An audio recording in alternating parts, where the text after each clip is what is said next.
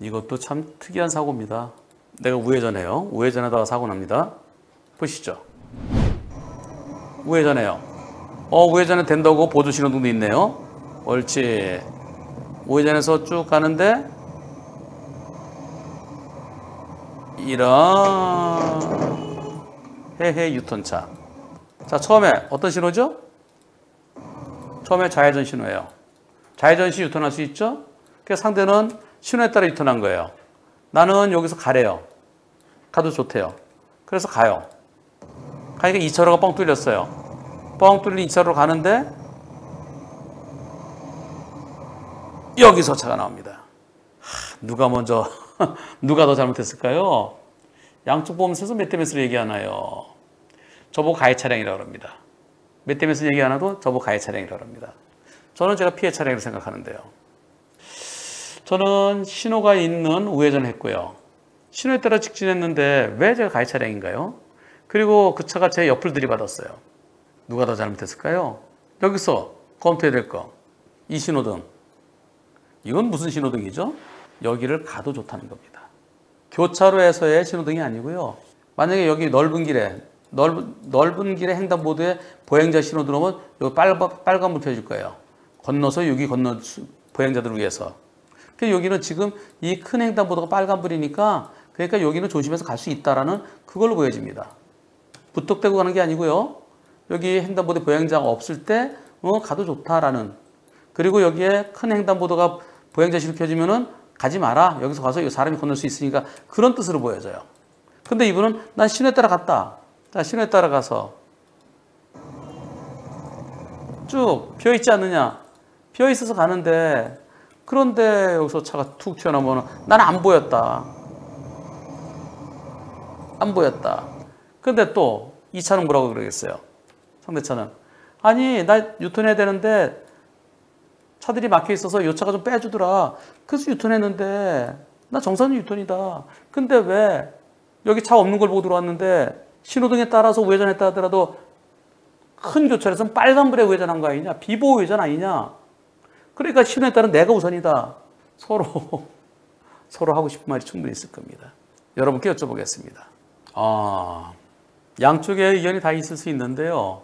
우회전차가 더 잘못이라는 의견이 16%, 유턴차가 더 잘못이라는 의견이 66%, 50대 50이라는 의견이 18%.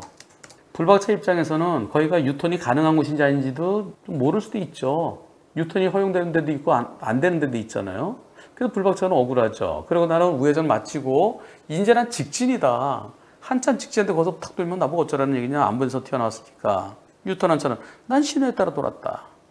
서로 의견이 있을 수 있는데요. 저 이거 어느 쪽이 잘못했다고 말하기가 참 조심스럽습니다. 근데 다행히 더 많은 퍼센트가 유턴차가 더 잘못했다고 해, 그런 의견을 주셨네요. 유턴 할 수 있죠. 좌회전 신호에. 또 내 앞에 횡단보도가 있는 것도 아니니까 우회전할 수도 있어요. 둘 다 가능해. 할 수 있어요. 유턴차는 1차로에 정체된 차 때문에 2차로가 안 보여요. 안 보일 때는 시야 확보 안 되면 조심해서 놔야죠. 혹시 그쪽에 오른쪽 골목에서 또 차가 우회전에 들어올 수도 있잖아요. 교차로 무관하게. 그리고 또 1차로 차 밀려있던 차가 2차로 변기해서 나올 수도 있잖아요. 직진하던 불박차는 유턴차 나올 것이 예상이 힘들었어요. 아, 그러나 또 아쉽다 그러면 유턴차, 그저 1차로가 쭉 줄져 있는데 그 간격이 넓은 데는 어, 거기 혹시 모르니 거기서 좀 더 조심했더라면 하는 그런 아쉬움은 있어요. 직진 1차로 차가 2차로 변경해서 갈 수도 있기 때문에 유턴에 오는 차가 안 보이는 새로운 차로 들어왔던 좀 더 조심했어야 되는 거 아니냐. 저는 그런 의견으로 이 영상을 봤습니다.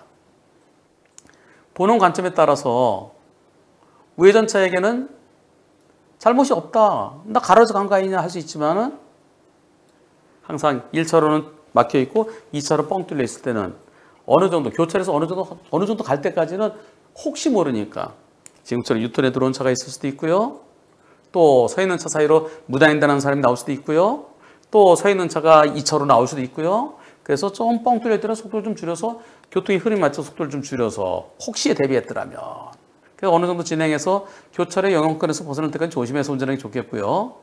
그리고 신호에 따라 우회전했다고 하지만 그 신호는 교차로 신호가 아니고 큰 횡단보도 아까 말씀드린 빨간불이기 때문에 자동차가 지나가도 된다는 걸 해석해야지 이것이 내가 가고 다른 차가 멈춘다. 그렇게 생각하시면 안 돼요.